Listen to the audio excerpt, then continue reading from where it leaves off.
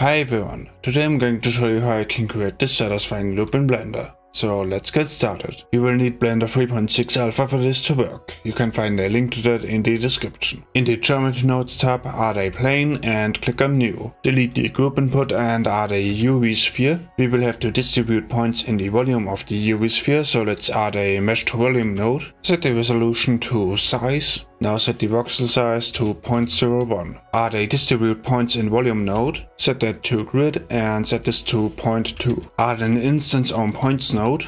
For the instance, let's add a cube, add an index of nearest node, take the UV map and plug it into the position. Now add a sample index node, plug the value into the scale. Also take the geometry and plug it into the points. Take the index and plug it into the index. We also need a position node, plug that into the value here. Now ah, add a er vector math node, set it to divide and let's set this vector to 1.25. For the rotation let's add an align Euler to vector node, plug the position into the rotation and into the vector, set it to set, add a rotate instances node, open the timeline and make sure you're on frame 1. Now keyframe the rotation, on frame 251 set it to 360 and keyframe it again. Add a scale instances node, add a mix color, take the result and plug it into the scale, take this value and plug it into B and make a black. Now add a gradient texture and set it to spherical. Take the color and plug it into the factor.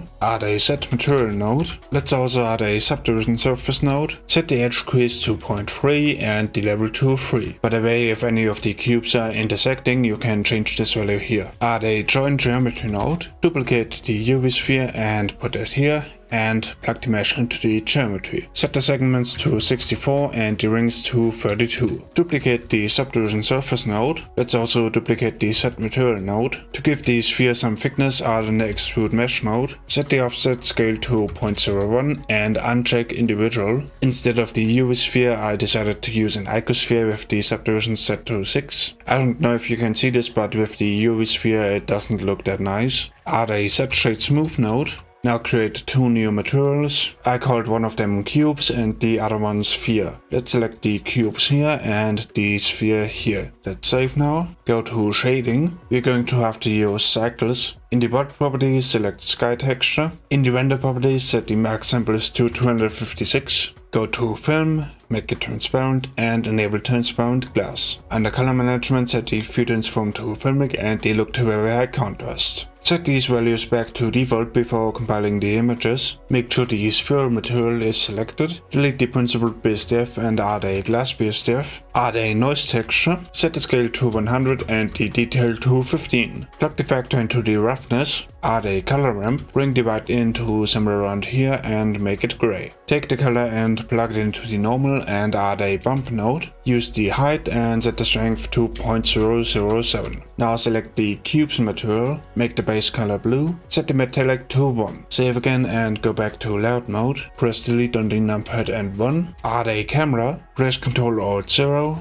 add an empty plane axis, press 3 to go into side view and press G and Y and put it here. Select the camera, go to the object data properties and enable depth of field. Select the empty here, set the f-stop to 1.5 and the blades to 16. Save again and press F12, close this window and go to compositing. Enable use nodes and denoising data, add a denoise node, add a glare node, set it to fog glow and set it to high. Set the size to 6 and let's Control Shift click on the node here, press Shift and right click and drag over here. Now move these over here, add an alpha over node, use this image here and make this a light blue. Add a color balance node, make the lift blue, the gamma red and the gain yellow. Duplicate the alpha over node and again use this image here and make this one black. Go to view and let's zoom out. Add a box mask, plug the mask into the factor here, set this to 0.9 and this to 0.5. Add a blur node,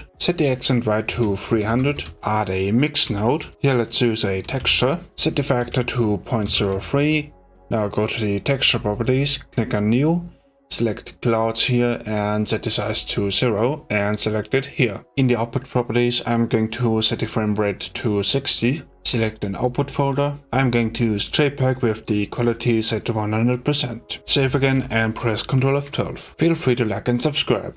If you liked this tutorial, then you're probably also going to like the one that is on screen now. I'll see you next time.